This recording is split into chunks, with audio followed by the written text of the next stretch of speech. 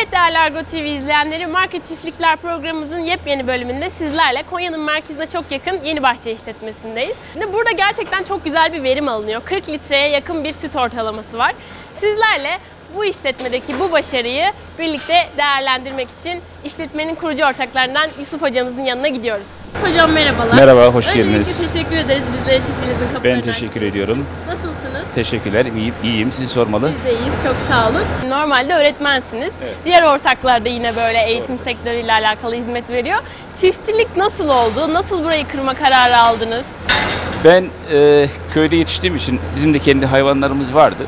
E, o zamanlar tabii bu kadar profesyonel bir hayalimiz yoktu ama e, zaman içerisinde teknolojileri e, takip ederek ve bir de öğretmenliğin de vermiş olduğu altyapıyla beraber biraz daha bilimsel, biraz daha farklı yapmak için e, bu şekilde çalışmalar içerisine girdik. E, yaklaşık bir 7 yıl önce bu serüvenimiz başladı. E, şu an hala devam ediyoruz.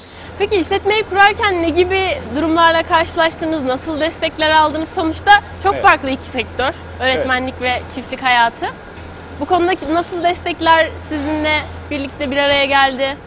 Şöyle, e, zaten işletmemiz ortaklı bir işletme. E, söylediğiniz gibi öğretmenler ortaklı bir işletmemiz var. E, öğretmen olmayan ortaklarımız da var. E, altyapımızı kurarken biz e, bir herhangi bir yerden destek almadık. Tamamen öz sermaye ile bu işletme kuruldu. E, devamında bazı yenilikler yaparken makine ekipman noktasında destek aldığımız İPART projesi oldu. Anladım. Hocam çiftliğin bir de kuruluş hikayesini aslında sizlerin anlatmanızı rica edeceğim. Ee, kaç yılında kuruldu, nasıl başladınız, kaç hayvanla başladınız? 2017 yılında kuruldu işletmemiz. Ee, başlangıcımız 60 hayvan civarındaydı. İlk etapta 40 Holstein, 18 tane e, simental şeklinde başladık. E, zaman içerisinde işimizin e, süt ağırlıklı olması gerektiği noktasında kararlarımız doğrultusunda simentalleri peyderpey e, zamanı dolan hayvanlarımızı kestirerek ilave takviyelerde bulunduk. Şu an e, sürümüzün %98'ine yakını Holstein, biraz da simentallerimiz var gördüğünüz gibi. Hocam peki size bir de şöyle bir soru yöneltmek istiyorum. Marka çiftlik olma yolunda yani bu kaliteli üretimi, kaliteli hayvancılığı yapma yolunda ne, ne gibi hususlara dikkat ediyorsunuz? Konfor noktasında öncelikle e, hayvanlarımızın konforu noktasında bütün altyapıyı ona göre uy- e, uygun yapmaya çalışıyoruz. E, marka çiftlik olma noktasında hayvanlarımızın boyunlarında görmüş olduğunuz tasmalar, e, sürü yönetim sistemi, yakından takip, e, sağlık noktasında olsun, verim noktasında olsun bu konuda e, teknolojilerden faydalanıyoruz. Ayrıca e, yem itme robotumuz mevcut. O, bu yatırımı da fanlarımızla beraber bir, bir 3-4 ay önce yaptık. E, yem itmenin faydasını da fazlasıyla görüyoruz şu an yem tüketimlerinde. Yani zaten oldukça refah seviyesi yüksek bir işletme. Sinek yok, hava desek e, çatının altında çok daha serin. E, peki bu fanların etkileri size yaz döneminde nasıl yansıdı? Yani sıcaklık stresi dediğimiz süreci sanıyorum yaşamadınız Evet. bu işletmede. Evet yaşamadık. Ee, sürü takip sistemimizde sıcak stresini gösteren bir sistem var zaten. Biz onu anlık orada görebiliyorduk. Fanlarla birlikte e, sağmane bekleme alanlarında yaptığımız duşlamalarla beraber günde dört defa e, bunu daha da alt minimize ettik. Yani hiçbir zaman o verilen referans aralıkları yukarısına çıkmadı sıcak Çok stresimiz. güzel gerçekten bravo.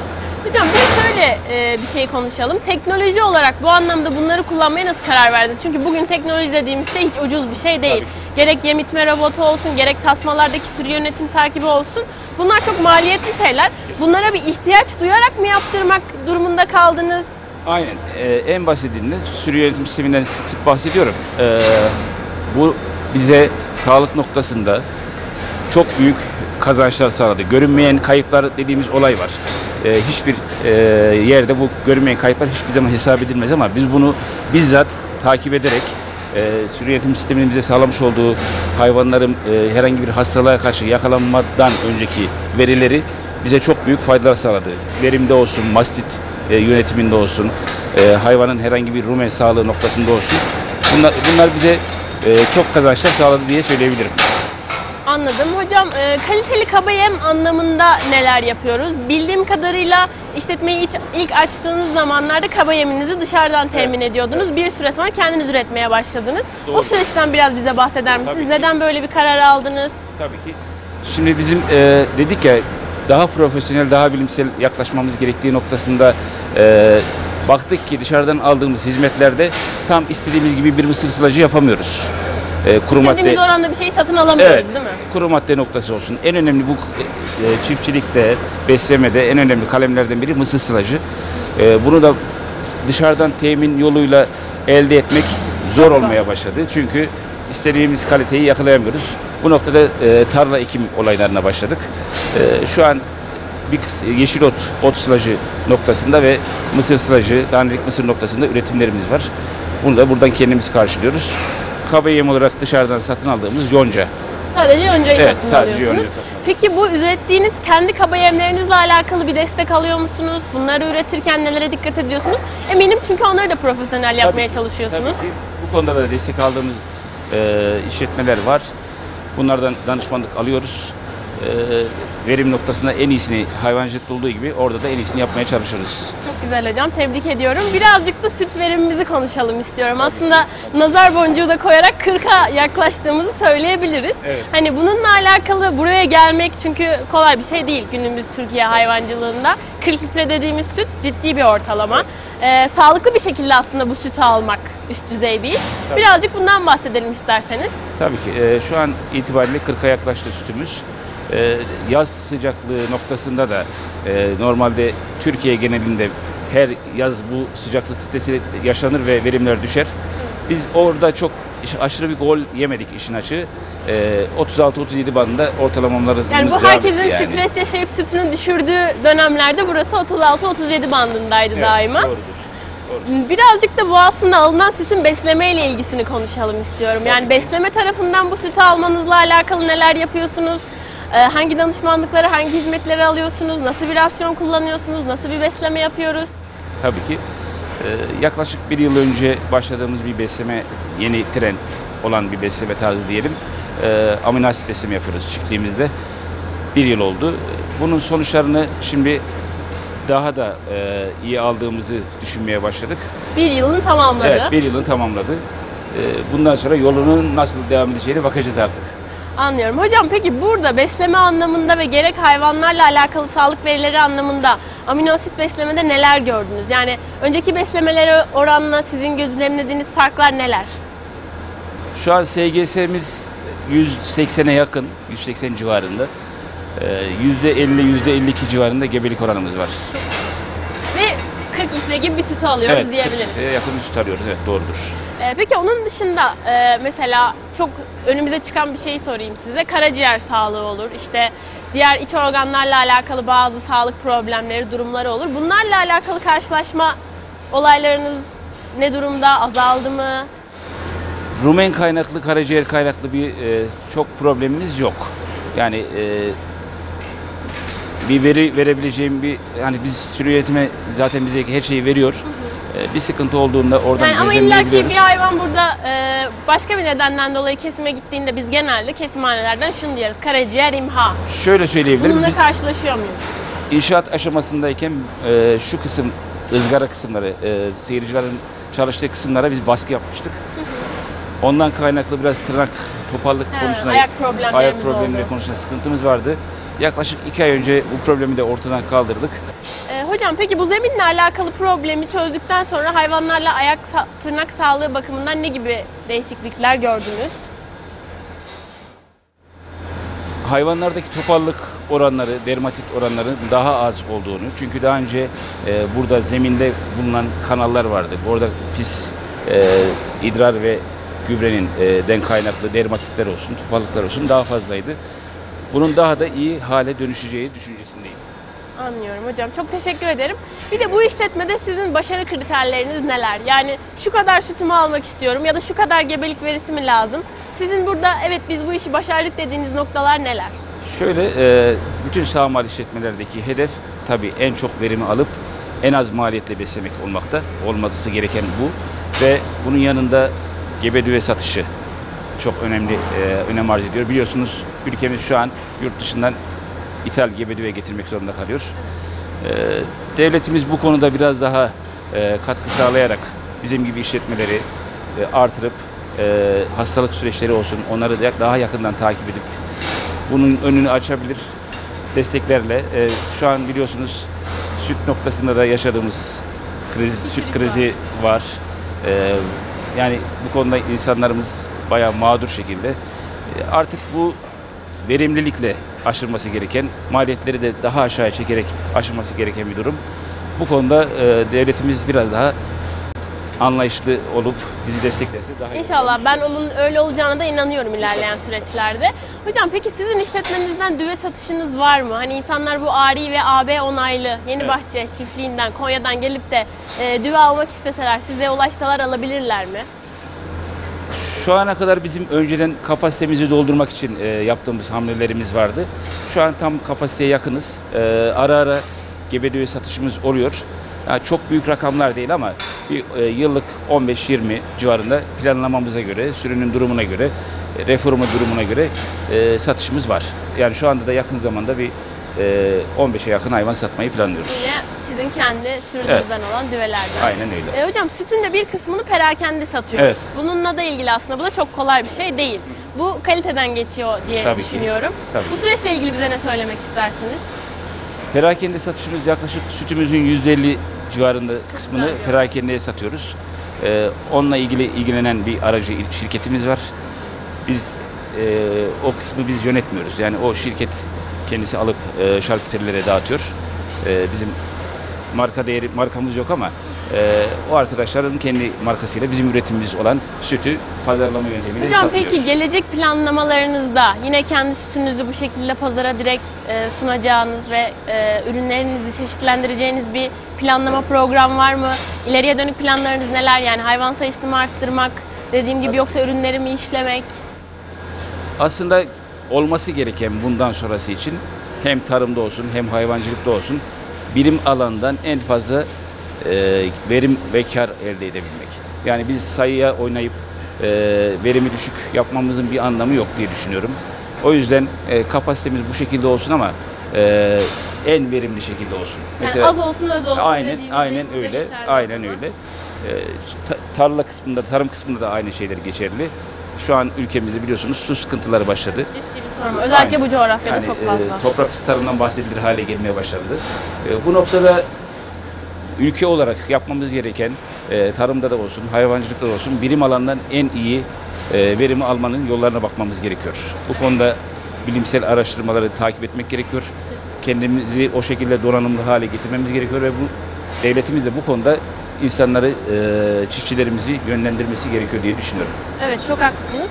Ee, hocam bir de size şunu sormak istiyorum. İşletmenizde yaptığınız e, kriter olarak değerlendirdiğiniz analizler neler? Yani bu çiftlikte bir şeylerle alakalı karar vermemiz gerektiğinde Evet. ne hangi parametrelere bakıyoruz? Ne analizleri yaptırıyoruz? Günlük takip ettiğiniz veriler neler? hayvanlarımızın en iyi e, verimi alabilmek için burada mısır sılacının kuru maddesi olsun, nişastası olsun, yemimizin aynı şekilde kuru madde tüketimini takip ediyoruz günlük. E, kıyım ayarı olsun ve bizim e, üretici, tüketici boyutuyla bakmamız gereken sağlıklı bir süt üretim için somatik hücre, sağmane için söylüyorum. Somatik hücre sayımları olsun, e, bakteri olsun. Zaten AB onaylı ağır işletme olduğumuz için bunlar günlük takip ediliyor. E, bu oranda biz bir, birim alandan en iyi verimden bahsettim ya. Aynı şekilde bu yemden de en iyi faydalanmayı sağlamamız için e, uğraşıyoruz. Yani takip ediyoruz.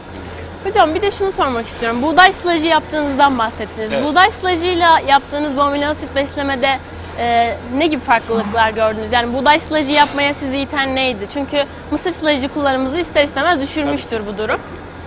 Yine tarıma dayanıyor ucu. Ee, mısır biliyorsunuz mısır bitkisi suyu fazlasıyla tüketen bir bitki. O noktada biz e, tarlalarımız kendimizin değil, kira usulü, icar usulü olduğu için e, iki ürün almaya çalışıyoruz. İki ürün alırken de e, mutlaka bir ot sılacı diyeyim, genel konuşayım. Buğday ya da arpa fark etmez veyahut da dörtlü karışımlar var e, çiftçilerimizin ektiği. Bunları da önden alıp arkasından mısır sılacı ekip bu şekilde çift ekim yapıyoruz. Ee, Bunlarla da e, hayvanlarımızın daha sağlıklı olduğunu, ne kadar kaba yem ağırlıklı olursa hayvanlarımızın daha iyi olacağı düşüncesindeyiz. Hocam rasyon anlamında peki e, neler yapıyoruz? Nasıl bir hizmet alıyoruz? Evet, Bunu biraz konuşalım istiyorum. tabii ki. e, Şu an çalıştığımız bir danışmanlık şirketimiz var. Onlardan destek alıyoruz. Kara, Karadağ tarafından destek alıyoruz. Hocam nasıl hizmetler sunuyorlar size? Ne gibi destek oluyorlar? Biz protein kaynaklarımızı konsantre yem şeklinde şu an temin ediyoruz. Karadağ firmasından, Karadağ çiftliğinden. Ee, oradan bize hazır şekilde geliyor. Amino asit besleme şeklinde geliyor. Çiftlik özelinde yapılıp geliyor. Tabii Bu ki. buraya Çift- özel bir buraya yem özel yapılıyor. bir yem şeklinde geliyor. Ee, biz buradan kendi di- diğer ilave edeceğimiz kaba yemlerimizi ve kesif yemimizi ilave ediyoruz. Çok güzel gerçekten. Çok teşekkür ediyorum. Hocam dilerseniz birazcık da buzağlığın orada ki. sohbet edelim. Çünkü Tabii çok güzel buzağlar yetiştiriyorsunuz bu işletmede de. Evet değerli izleyiciler, şimdi Yeni Bahçe Çiftliği'nin buzağlığındayız. Buzağlıkta e, birazcık da buranın temizliği, hijyeni ve buraya verilen önemi aslında sizlerle paylaşmak istiyorum. Çünkü genelde çoğu işletmelerde burası çok göz ardı edilen bir Maalesef, nokta olup maalesef. işletmenin aslında geleceğidir burası. E, hocam bununla ilgili buraya dikkat etme konusunda sizi gerçekten tebrik ediyorum. Teşekkür Buranın ederim. önemini çünkü temizliği olsun, hayvanların yani kondisyonları olsun, parlaklıkları olsun görebiliyoruz. Siz buzağlarınıza bakarken, büyütürken nelere dikkat ediyorsunuz? Tabii ki. Ee, doğumdan sonraki süreçte e, ilk üç gün zaten kolostrumla besliyoruz. Evet, kendi annesinin Evet, kendi besliyoruz. annesinin sütüyle besliyoruz. Ee, sonraki süreçte zaten e, doğum esnasında yaptığımız aşılarımız var. Koruyucu aşılarımız var. Ee, sonraki süreçte biz direkt mama e, kullanıyoruz. Mamayla besliyoruz. Yaklaşık buzağlarımız 70 gün, 65-70 gün bandında e, kulübelerinden çıkıyorlar. Sütten ayırıyoruz buzağlarımızı. Hocam peki buzağlarımızda diş yani dişi mi buranın popülasyonu, spermamız ona göre Tabii mi? ki. Buna önem veriyor Ee, muyuz? Düvelerimizde ilk 3 tohumu kesinlikle dişi sperma kullanıyoruz. İneklerimizde de e, konvansiyonel kullandığımız gibi e, verimi yüksek olan hayvanlarda ke- kesinlikle dişi kullanmaya gayret gösteriyoruz. Tabii biraz verim odaklı e, bunu kararını o, şekil, o şekilde vermeye çalışıyoruz. Ee, bir de ben bu çiftlikle alakalı şunu da çok söylemek istiyorum. Burada e, bahsettiğimiz ilk üç gün verilen kolostrumda şöyle bir şey yapılıyor. Diyelim ki bir düvenin e, doğumundan sonra sütünün 1x değerine bakıyoruz. Eğer istediğimiz oranın altındaysa Evet. Biz o buzağa onu vermiyoruz. E, stoğumuzda olan dondurucudan 1x değeri daha yüksek olan bir ineğin sütünü veriyoruz. Doğrudur. Kolostrumunu veriyoruz. E, bununla ilgili de hani sizden biraz yorum almak istiyorum. Bunu yapma sebebiniz nedir? Bunlar bizim gelecek geleceğimiz biliyorsunuz. Evet. Ee, buradan başlayan bir gelecek serüveni e, sonrasında bize sağmal inek olarak geri dönecek ve kaliteli bir hayvan olarak geri dönecek. Bu da sonraki kısımda verim olarak bize geri dönüş yapacak. Bura, bu kısmı ne kadar iyi beslesek bizim verimimiz o oranda artacak diye söyleyebilirim. Hocam o zaman bir de şöyle bir soru sorayım buradayken. Buzağı ölüm oranlarımız nedir? Yani böyle bir buzağlıkta bu bakım ve besleme, hijyenle buzağı ölümümüz yılda yüzde kaç oranlarında? %4-5 bandında diye söyleyebilirim. Peki bu bunlar genellikle ne sebepten oluyor? Hani sonra Zor mı? doğum kaynaklı olabildiği zamanlar oluyor. Zor doğum kaynaklı olabiliyor. Ee, çok nadir olsa da e, pnömoni gibi durumlarla karşılaşabiliyoruz. Hava şartlarının durumuna göre. Ama bu oranda gerçekten çok ülkenin şartlarının üzerinde güzel bir oran. Evet. Gerçekten. Biraz da düvelerimizin orada isterseniz Tabii. sohbet Tabii edelim. ki. Düvelerimizi de gösterelim seyircilerimize. Bunlar satacağımız düveler değil mi? Tabii kendi sürümüze katacağımız düvelerimiz de var. Yaklaşık burada bir 30'a yakın düvemiz var. Ee, satacağımız düveler de burada. Hocam bunların beslemesinde yine dikkat ettiğiniz hususlar neler peki? Çünkü düve de aslında bir sonraki yer olan inekle ilgili bir konu. Evet, e, burada da aynı şekilde e, Yani hayvanlarımızın- büyüme ve gelişmenin tamamlandığı dönem burası çünkü tabii bizim ki, için. tabii ki. Aranan besleme kriterlerini burada da sağlamaya çalışıyoruz. Rasyonlarımızı bu noktada e, yapmaya çalışıyoruz. Ve belli bir kondisyon, belli bir cidago yüksekliğine ulaşıncaya Zaten kadar şu an baktığımızda hepsine tek düze bir skor Evet, görebiliyoruz evet. hemen hemen. belli bir cidagonun altına düşürmeden hayvanlarımızı tohumluyoruz. Bunun için de e, 13 ay bandında, 13-14 aralığında e, tohumlama yapıyoruz hayvanın durumuna göre. E, kriterlerimiz de bu şekilde. Hayvanlarımıza e, dişi sperma kullanıyoruz. Şu an bu buradaki görmüş olduğunuz düvelerin tamamı dişi sperma ile tohumlandı ve gebe. Düvelerimizde de tasma var. Onları da sürü yönetimine dahil ediyoruz. Evet, Çoğu evet. işletmede açıkçası benim görmediğim bir şey Evet. bu. Kızgınlıklar olsun, sağlık verileri olsun düvelerimizi de yakından takip ediyoruz. Çok güzel gerçekten. E, hocam biraz da aslında sizinle şimdi hayvancılığın e, artık e, en çok yorulan kısmı mı diyeyim ne diyeyim çok da bilemedim. E, işçi maliyetlerini biraz konuşalım. Yani mesela sizin bu yem robotunuz Evet. e, belki bir işçinin hatta iki işçinin geceli gündüzlü vardiyada yaptığı işi yapıyor. Hani bunu almaya sizi iten şeylerden birinin de işçi problemi olduğunu sanıyorum. Kesinlikle ülkemizde tarım ve hayvancılıkta yine hatta diğer sektörlerde bile bir işçilik sıkıntımız var. Ee, bu sektörde zaten ayrı bir sıkıntı devam ediyor. Herkes bu sektörden kaçmanın derdinde. İşçilikler noktasında da insanlar e, bu konuda çok mağdur olduğunu düşünüyorum. Biliyorsunuz e, dışarıdan gelen Tabii. işçi Göçmen. destekleriyle, göçmenlerle bu iş yönetilmeye çalışılıyor. Ee, bu konuda da mağduriyetlerimizi mümkün olduğunca teknolojiyi kullanarak daha az işçilik sayesinde azaltmanın yollarına bakmaya Yani çalışıyoruz. aslında çok daha e, doğru da bir yöntem. Neden diyecek olursak da e, sistematik bir şey var. Bir teknolojiyi kullanıyoruz. Yani belki bir insana söylendiğinde, insan gücüyle yapıldığında illaki sekteye uğrayabilecek bir şey. Ama robotu oraya koyduğumuzda istediğimiz zaman şekilde kurgulayarak kuru madde tüketiminizin de arttığını sanıyorum. Evet, evet doğrudur. Şimdi burada e, bir işçilik yapılıyor. Sonuçta e, çalışanlarımız insan, insanın da dinlenmeye e, ihtiyacı var. E, gecenin bir yarısında bur- buranın süpürülmesi, e, yem, yemlerin süpürülmesi biraz zordu. Bu teknoloji sayesinde hayvanlarımızı biliyorsunuz hayvanlar gece de olsa, 3'te de olsa, 2'de de olsa, 4'te de olsa yem tüketmeye devam ediyor.